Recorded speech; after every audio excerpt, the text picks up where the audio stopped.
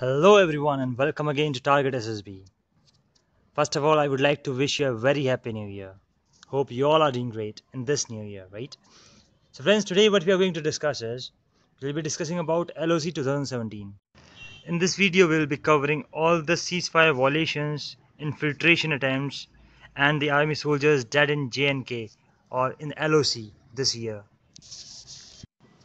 2017 saw hottest LOC in recent years. See friends, this is the headline of the Indian Express of 1st January 2018. See, why, why it was the hottest LOC in recent years? Because the Indian Army has lost 31 soldiers on the LOC in 2017, on which 14 died in ceasefire violations and the remaining 17 in counter-infiltration operations. See friends, this is the data in the tabular form. Ceasefire violations in 2015 it was 152, right? In 2016 it was found 228, but in 2017 till 26 December it was found 820 ceasefire violations. It's a huge amount.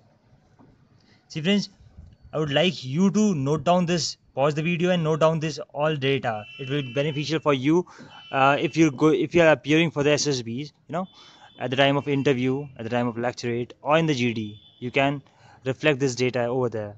It will be very beneficial. And the infiltration attempts.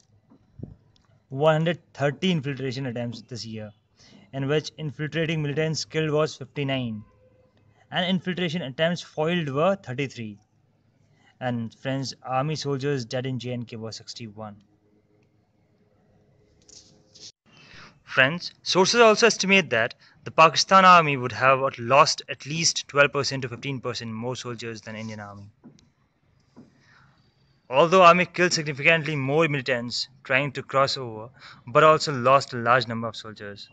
So my dear friends in 2018 it has to be prepared for everything. So all the very best. Prove your mettle. Good luck. Thanks for watching please like share and subscribe. And for and friends please don't forget to subscribe to get updated. Jai hind jai bharat